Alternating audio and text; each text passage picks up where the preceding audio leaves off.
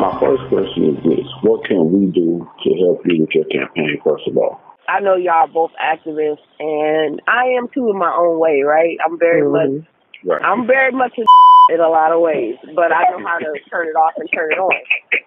You know, I I know how to I know how to be in certain spaces. You know, you right, got to be able to turn it off and turn it on. Correct. So, right.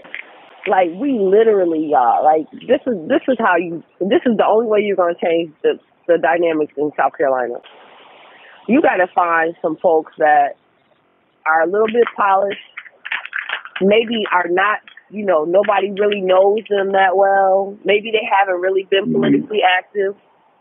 But we need some secret sleepers. Like you need, we need them to run as the other side, even though they for our side, and we need them to win. Right. Because mm-hmm. that's how, like, I mean, we can we can battle them in public all day as long as we know we working for the same goal. You know, I, I tell my right. colleagues up here all the time, I'm gonna be that bitch every day of the week. Got too many people that that ain't us, ain't out for us, and look okay. like us. I mean, but honestly, these ain't the same type of black people that I grew up around. I don't recognize these black right. people, so I black because I don't understand the type of black that they are. Now, can I talk intelligently? Can I?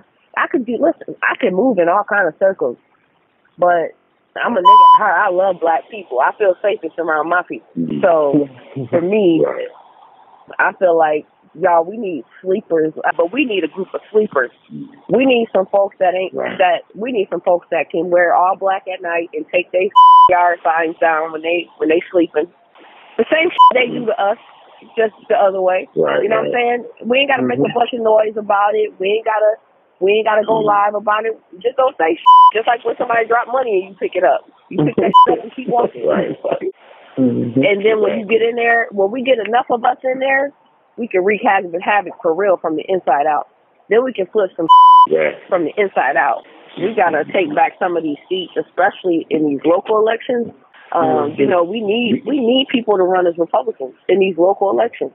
Um, and we need, I mean, they family they can't tell their family, you know, period. Because I can't trust family. Family, the first one turn on you. You can't mm-hmm. tell them. So, you know, like, man, I didn't think he would ever be a Republican. You know, they're going to have to be able to listen. Mm-hmm. When I say they're going to have to be able to take some I'm talking about at the dinner table at Thanksgiving when they on the Republican ticket and everybody at the table looking at them sideways like, I can't believe y'all trying to They got to be able to take that on their chin. Yep. And I still got to struggle to raise money for my campaign. Where the f- is my black people with money? I don't care about no dope money. Give me that dope boy money. Where the f- is dope? Where the duffel bag boys? Get you find you somebody in your family that don't even know you donating to my campaign and put that under their name.